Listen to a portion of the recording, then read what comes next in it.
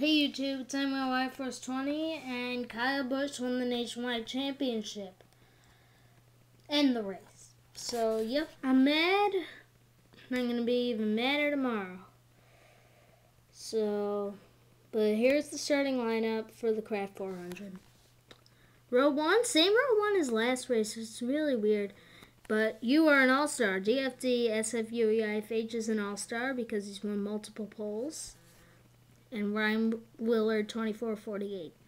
Same as last time. It's weird.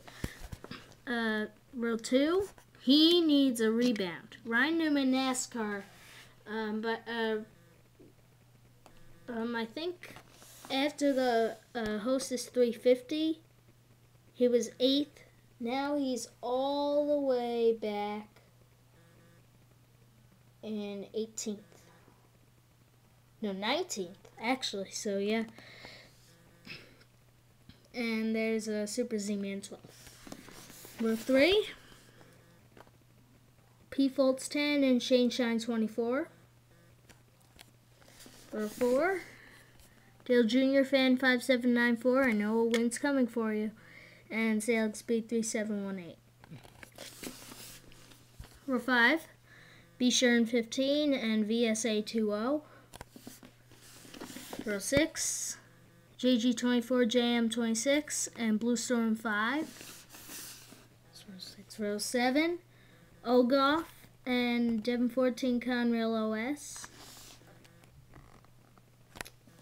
Uh, row 8, Xanderman 3636 and NASCAR Fan 789. Row 9, Dale Jr. 88143 and uh, NAS 49 Racing. Row 10, the Purity 8 fan, and um, uh, Beagle Puppy 13. Row 11, Stewart Fan 128, and BP 554700, the points leader. Row 12, Ta 2719, and me, NYYforce20. The last two spots are very interesting. That's me, the last place finisher here in 24th. But your winner from the Bank of America 500, Pug Pug 12, is starting last. Oh, like I said, this is a very frustrating week, uh, very frustrating two thirds of my weekend. Jimmie Johnson and Kyle Busch are gonna win the NASC, uh, are gonna win titles, Nationwide and Cup. But the truck weekend was uh, was awesome.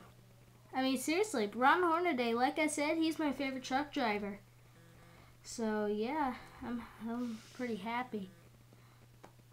Now, look at this. This is a cool truck I put on my cards. So, yep, bye.